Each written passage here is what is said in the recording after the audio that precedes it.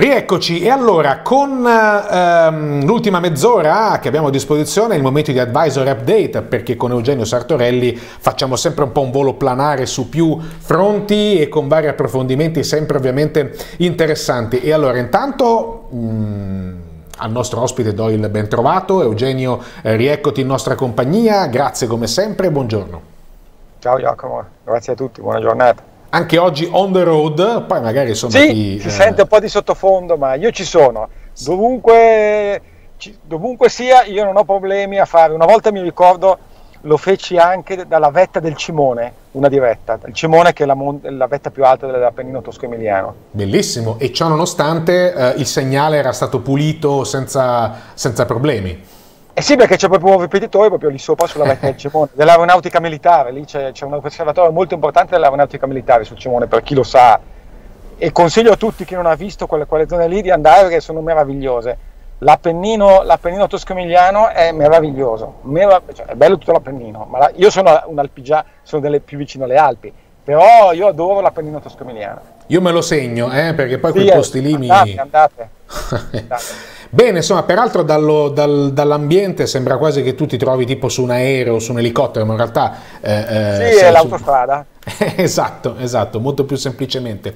Senti, allora, ehm, oggi tra le notizie più importanti, occhio peraltro al mercato che all'improvviso svolta in territorio positivo. L'unico è il Fuzzi Mib adesso che resiste sopra la parità più 0,11, gli altri però a partire da Madrid meno 0,5, Parigi meno 0,25, DAX meno 0,3%. Per carità, sono perdite comunque eh, ridotte che non vanno a influenzare il grafico giornaliero, però insomma è, è una notizia dell'ultimo secondo. Anche Londra sotto lo 0 e anche Zurigo meno 0,32, 11.070 73 punti. Ma vabbè, insomma, poi su questo magari ci torniamo.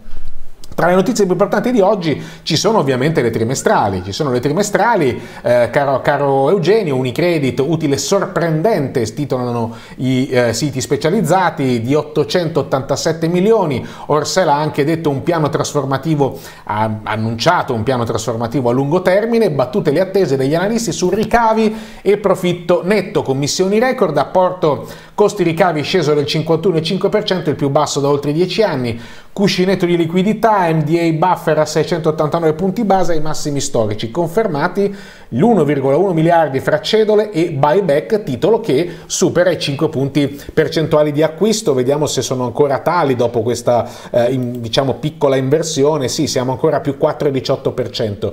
Eh, insomma si festeggia sostanzialmente eh, nelle banche, di intesa abbiamo parlato poco fa, poi c'è da dire che insomma eh, supera le attese, supera l'anno precedente, ma mi pare anche normale, no? dato che nel 2020 il primo trimestre non so, cioè forse solo Amazon e, e, e, que, e quel comparto lì ha avuto grandi, grandi, guadagni e grandi trimestrali, ma rispetto alla, al primo trimestre in cui sostanzialmente si è, non dico paralizzato tutto, ma c'è stato il blocco forzato causa Covid, è anche normale che i dati siano superiori alle attese e a quelli registrati in precedenza differenza? Guarda, io eh, devo andarmelo a vedere bene, però eh, credo che la trimestrale sarà buona, ma io sto, sto leggendo, lo leggo, sì? il conto economico della chiusura del 2020, che mi dice, eh, che mi dice eh, Super Unicredit, ve lo leggo, reddito al netto dei componenti straordinarie, meno 2.834 milioni. E questo però nel comunicato stampa non te lo mettono nei, nei, nelle no, prime due righe cioè la chiusura, eh, probabilmente la trimestrale sarà buona, sì. ha, chiuso un 2020, non è che l'ha chiuso molto bene, eh? cioè un reddito netto meno 2.785, cioè io non, non, so cosa dire. Cioè basta una trimestrale per fare primavera? cosa, no, ma capisco, c'è tanta liquidità, quindi qualsiasi, qualsiasi espediente, eh, qualsiasi espediente è, è, buono, cioè, per esempio, scusate se ti menziono sempre Tesla, Tesla eh, ha aumentato, ha, ha raddoppiato le, le, la vendita delle auto in Burundi, che da 4 ne ha vendute 8 e, e salirà del 10%. Cioè io, ormai siamo a questo punto qua. Eh. Sì, sì, sì, chiaro. Cioè, per me è tanta liquidità che tanto la giustificazione la trovi sempre, la liquidità ormai va, devono trovare qualcosa, quindi appena vedono che qualcosina tira sulla testa e allora dico comprate le compagnie aeree a questo punto, comprate le compagnie aeree che sono tecnicamente tutte fallite e però tanto adesso con i vaccini si tornerà tutti a riprendere l'aereo e via a comprare compagnie aeree che tutte faranno aumento di capitale eh, perché sono fallite, le compagnie aeree sono tecnicamente fallite, e comprate. E quindi Lufthansa, Boeing, American Airlines... Io, io mi sono andato a prendere delle colle effettivamente su alcune compagnie aeree perché tanto verranno sussidiati, oltre agli aumenti di capitale, verranno sussidiati dagli stati. Al, a, al di là di questo, Unicredit, vediamo il, la prossima, mi, mi, guardo bene i bilanci e, e, vi dico la prossima volta se veramente è giustificato questo entusiasmo. Eh, per me forse è più giustificato il fatto che c'è un nuovo amministratore, un nuovo CEO e forse il piano industriale eh, no, non dispiace di Unicredit. Forse quello, aggiungo con una certa malizia, e adesso vado a prendere anche il grafo Unicredit così ce lo vediamo insieme perché è simpatico, cioè è anche bello fare un, un minimo di analisi tecnica, sì. cioè Unicredit ha fatto un gap rialzista, però non ha ancora rotto i, massimi precedenti. Per me il livello chiave è neanche 9,4 9,5 non c'è bisogno che faccia i massimi quelli superiori a 9,6 no. Per me già se, se, se va sopra 9,5 è convincente. Se no eh, vediamo oggi non è sufficiente. Eh, non è sufficiente è certamente un rialzo bisognerà vedere anche la chiusura dei volumi. Quanti volumi ci saranno che sicuramente saranno in crescita molto importanti i volumi e stavo dicendo con malizia sì. evidentemente sarà anche passata la notizia che probabilmente non dovrà assorbire Montepaschi. E questo potrebbe insomma in, eff- in eh, effetti dare... per colpo, eh? perché non lavora nessuno Montepaschi, o eh, come certo. la chiamo io, mi prendo la responsabilità della battuta, ma lo dico, la battuta lo faccio, chiedo scusa ai dipendenti di Montepaschi, però io penso soprattutto a quei poveracci che avevano le azioni che gli erano fatte comprare, io la chiamo ormai da qualche anno Montepacchi, perché veramente è clamoroso, è clamoroso quel titolo, è clamoroso, clamoroso. Cioè doveva, doveva essere un titolo che doveva essere messo fuori dalla borsa, però vabbè. E adesso nessuno lo vuole, è perché sono solo debiti. E quindi probabilmente Unicredit è scongiurato, potrebbe anche essere premiato il fatto che il nuovo CEO vuole, vuole ammogliarsi con qualcun altro. Eh, vedremo con chi.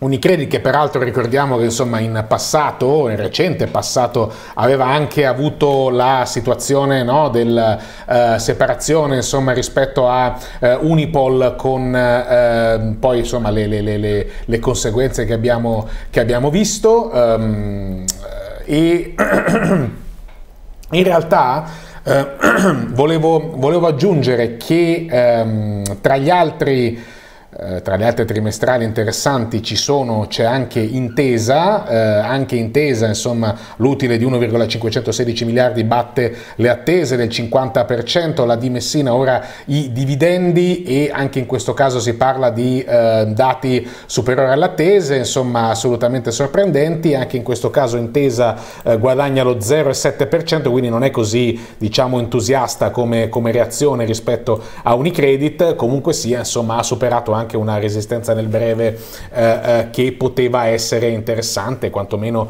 un target eh, come punto di riferimento per chi ha intesa o chi magari voleva, voleva, eh, voleva eh, ehm, investire insomma, su, questo, su questo titolo. Um, che... vorrei, vorrei, giusto parlare del grafico d'intesa perché a me piace il grafico d'intesa molto sì, più quello no. Scusate, so peraltro, Eugenio, io prima ho detto una fesseria, parlavo di Unipol, in realtà intendevo Fineco, uh, Unicredit e Fineco, parlavo di quell'operazione. Unipol non c'entra niente, chiedo scusa a casa. Ah, sì, della, sì, sì, sì, no. E, ehm, no, guardate il grafico, vedete che qui se rompesse aria, andiamo, andiamo meglio 2,38, ma facciamo anche 2,40, attenzione alla rottura, non basta che ci sia sopra un minuto deve confermarlo con la chiusura di giornata. Quindi per me sopra 2,40 con conferma di giornata, con volumi, meglio ancora se poi lo fa con la chiusura della settimana, ulteriore conferma, e questa mi, mi, mi confermerebbe che tutta questa zona che sto evidenziando, cioè sostanzialmente da metà marzo fino adesso, è una fase di accumulazione. E poi guardate un credit, cioè, eh, sì, scusate, Intera San Paolo, e poi ha tanto spazio per tornare sui massimi pre-Covid, perché questo lo sappiamo tutti, è il miglior titolo italiano bancario, non ci sono dubbi, eh, per storia, per gestione, per, per presenza, anche all'estero, eh, e per management, e quindi potrebbe veramente poi eh, anche con l'aiuto sappiamo del, del, del, fatto che tutte le sofferenze vengono messe sotto un tappetino, nascoste almeno fino a fine anno e questo per il sistema bancario è, è positivo, quindi potrebbe andare ad aggredire, non dico i massimi pre-Covid, ma vedete che c'è un gap ribassista che, che, che è lì che chiama coprimi, coprimi per arrivare a due, almeno 2,5. Quindi 2,5 la potrebbe fare anche di più. Intera San Paolo graficamente parlando, al di là dei bilanci che poi ripeto andrebbero approfonditi, ma per la prossima volta vedo di, di fare uno studio sui, sui, due bilanci e magari compararli, eh, mi sembra, a me piace molto di più come grafico, è molto più convincente. Sì, più pulito, insomma, in effetti, sì, insomma, sì, è, è, è, evidente e lo si vede. Um, ci sono alcune domande di amici da casa che peraltro su titoli che quantomeno insomma asset che tu segui, vedi Coinbase ad esempio. Prima però ah, volevo eh, sì. chiederti una previsione, quantomeno che cosa ti aspetti dalla Bank of England, dato che alle 13 tocca a uh, Mr. Bailey e anche in virtù del fatto che comunque nel Regno Unito la situazione è abbastanza diversa rispetto al vecchio continente, eh, è più piccola rispetto alla, agli Stati Uniti, insomma mh, non so se ti aspetti un un diciamo, atteggiamento più hawkish, cioè più tendente alla Bank of Canada che per prima ha dato il via all'allentamento appunto del tapering o se invece pensi che si rimarrà in qualche modo allineata alle indicazioni di Banca Centrale Europea e di Fed. Ecco, ricordo che quello che ha fatto la Bank of Canada è accaduto il 21 aprile sì. e non il 22 quando ci fu il ribasso, che parlò la, che ci fu una, una correzione sì. e, e, e, gli fece il solletico a tutto il mercato. Stranamente, perché, perché stranamente? Perché è noto che la Banca Centrale Americana, non l'avevo già menzionato, manda prima avanti le truppe che sono o la Banca Centrale Australiana o la Banca Centrale Canadese, qualche volta pure la Banca Centrale della Nuova Zelanda. Ora che la Gran Bretagna è diventato il 50, non, credo il 52esimo, non mi ricordo se il 52esimo Stato degli Stati Uniti di fatto, sì. eh, perché quella è il futuro della, della, UK e quindi così grande vendetta dei coloni americani eh, dopo la guerra di indipendenza, eh, che il re diventa suo suddito, la regina in questo caso, e, mh, non, credo, non credo che ci sarà un seguito a questo della Bank of Canada, credo che la, la, la, la Banca d'Inghilterra anche sappiamo le difficoltà finanziarie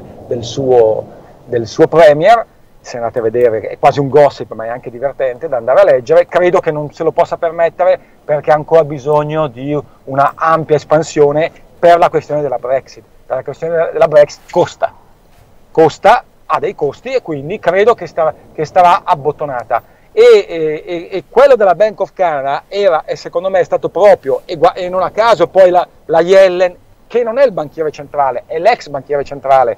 La Yellen ha fatto quella dichiarazione, secondo me, non in maniera casuale. Queste persone non fanno mai dichiarazioni casuali, mai, sono troppo eh, esperti, hanno, de, hanno, de, de, hanno, un ufficio per la comunicazione. Ti volevo in hanno... effetti anche stuzzicare, scusa ti interrompo, sì. magari ti chiedo anche di togliere la condivisione così torniamo a vederti, eh, ah, certo. perché c'era ancora il grafico di intesa, ma ero tentato anche di chiederti su quella ah, dichiarazione certo. di Janet Yellen se è stata una gaffa oppure invece no. Eh, eh, oppure no. Prego, allora, prego, ti ho interrotto. Fatto per me hanno fatto un pre-test con la Bank of Canada. Non sì. è che la Bank of Canada ovviamente sta lì ad abbaiare, sì sì, obbedisco. Però la Bank of Canada era già orientata e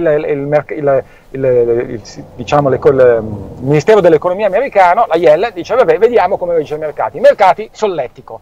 E allora adesso proviamo, non il banchiere centrale che è lui che dovrebbe dire quelle cose, la Yellen, che non è il banchiere centrale che dovrebbe essere indipendente, fa la dichiarazione, ma sì, prima o poi i tassi saliranno, che la potevo fare anch'io.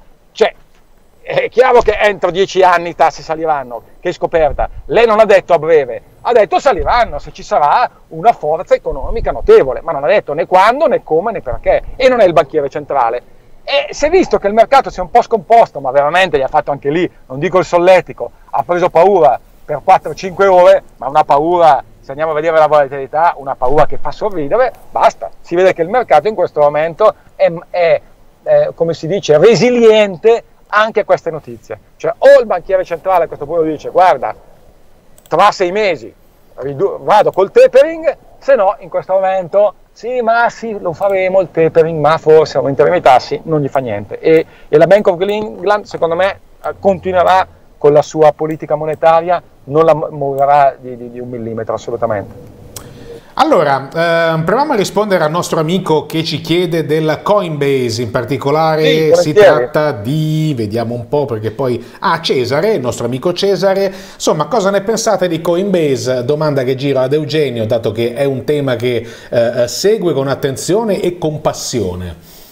Con passione e sono anche un investitore, ho, ho comprato Coinbase, non a, a, a 350, ve lo dico, guarda, ho un, ho un prezzo medio di circa 330 dollari Mm. Per me Coinbase vale molto di più di questi, di questi livelli, se Tesla vale quella roba lì, se, se altri titoli americani, eh, Apple e così via. Per me, eh, come, come, direi, buy, si, parla, si parla sempre buy on dip, a me piace più dire buy on cheap, cioè, eh, per sì. me questo è un buon prezzo.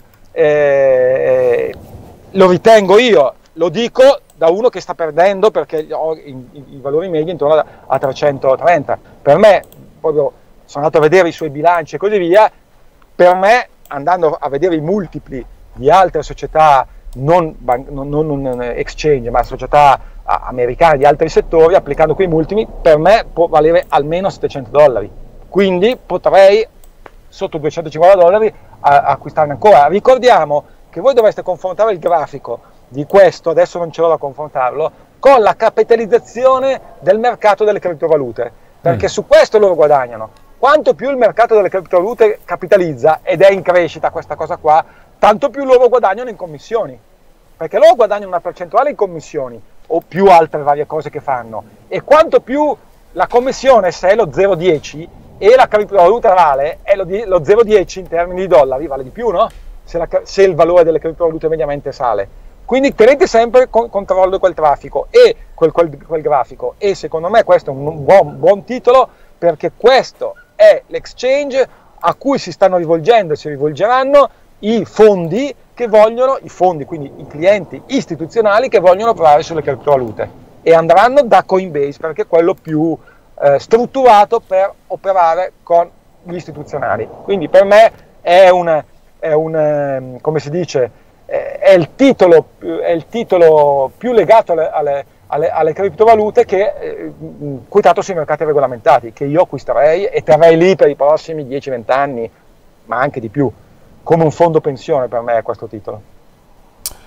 Chiaro, intanto ci sono varie opinioni. Da casa, la IEL non avrà testato il terreno per vedere la reazione salvo ritranquillizzare subito tutti, ci do, si domanda Enrico, lo faceva anche quando era a capo della Fed che a ogni riunione menzionava l'aumento dei tassi senza aumentarli. E poi aggiunge Coinbase però dice secondo me vale pure tanto ma è poco scambiato, insomma sto leggendo qualche opinione che arriva sì, eh, da casa.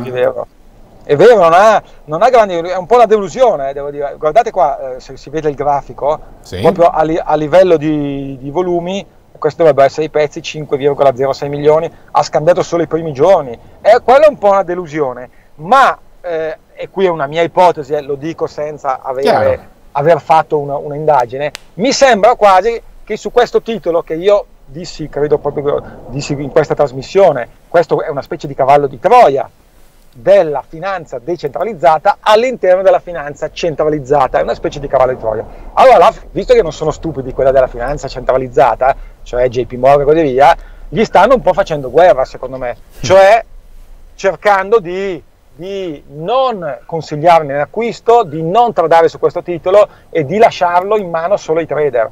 E, ehm, credo che sarà solo questione di tempo, prima o poi arriveranno anche grossi volumi su questo titolo. E, e, se, e, secondo me questa fase di, di, discesa è anche parzialmente legata ai dipendenti e che come dipendenti di Tiscali, c'erano i dipendenti di Tiscali, chi se lo ricorda, vi faccio questa, eh, questa cosa, nel, nel, 99, quando fu quotato Tiscali, ci sì. furono dipendenti che di colpo si trovavano con in mano, con le, le, le, azioni che gli avevano dato come premio, si trovavano in mano, allora c'erano ancora le lire, centinaia di milioni di lire, qualcuno anche un miliardo di lire, e cosa fai? Cosa te li tieni? Cioè hai, hai, una cosa che valeva niente e di colpo la quotano e vale una, una, una cosa enorme e liquidano una parte de, de, de, di questo inatteso profitto. E qui tanti dipendenti di Coinbase secondo me stanno un po' alleggerendo, stanno po' piano piano alleggerendo perché hanno dei, dei profitti mostruosi in mano, hanno centinaia di migliaia di dollari che vogliono liquidare. Finita questa fase qua, secondo me arriveranno, arriveranno grossi acquisti, almeno di un crollo del sistema criptovalute. A che, livello, a che livello potrebbe essere un fondo per ripartenza? Beh, 250, 250. che era il valore, il valore iniziale. Il valore ah, beh, chiaro, di, certo, certo. Quello di quotazione, secondo me 250 è un livello chiave. Se rompe 250 a ribasso e ci sta sotto, allora effettivamente è, è, un, è, un, po' abbandonato a se stesso questo titolo e mi stupirebbe. Se invece ritrova supporto, poi per me questo è un titolo che può, veramente fare... Cioè vi ricordo che non c'entra con questo, Facebook quando fu quotato, non mi ricordo in che anno, che lo seguì molto da vicino, Facebook i primi mesi scese, eh? scese i primi mesi. Andate a vedervi il grafico dopo la quotazione. Facebook scese i primi mesi di quotazione, dici? Sì. Giusto? Ok. Sì, Beh. me lo ricordo, ma uno dei motivi furono anche quelli, che c'erano i dipendenti che liquidavano le posizioni. Eh sì, eccolo qua, il grafico che parte dal 2012, almeno io ce l'ho dal 2012, effettivamente dal 2012 al 2013 perse un discreto terreno, insomma poi cioè, sì. ai, tempi perse, vediamo un po' se riesco anche a quantificare, sì sì, perse quasi il 50%, anzi un sì. momento arrivò fino anche a meno 62%, poi sì, ci furono, anche, ci furono anche motivazioni, adesso non mi ricordo che problemi ebbe eh, anche legali se non ricordo male, ma il primo ribasso, quello dei primi mesi dove tutti si aspettavano, ah farà un boom, come anch'io mi aspettavo su Coinbase, eh. io pensavo che trovasse supporto a 300, poi ripartisse, e, e Facebook non trovò supporto e continuò a scendere, poi uscirono anche delle notizie appunto di questioni legali, non mi ricordo, e quindi scese anche di più. Tu pensa chi ebbe la forza di tenersi il titolo o di comprarlo sulla discesa, ecco, si faccia i calcoli, non dico adesso perché adesso è facile, anche nel 2019 quanto avrebbe, avrebbe, avuto, avrebbe in mano in percentuale in più. Ecco, secondo me Coinbase potenzialmente potrebbe fare graficamente quella roba lì. Allora, con i saluti di eh, Roberto che ti dice ehm, bello il, ehm, il, cimone ma andate sul Monte Baldo 2218 eh, metri con panorama del Garda. Beh, immagino. Eh, esatto, immagino Lo vedo che siamo... dal mio, dal mio terrazzo vedo il Monte Baldo.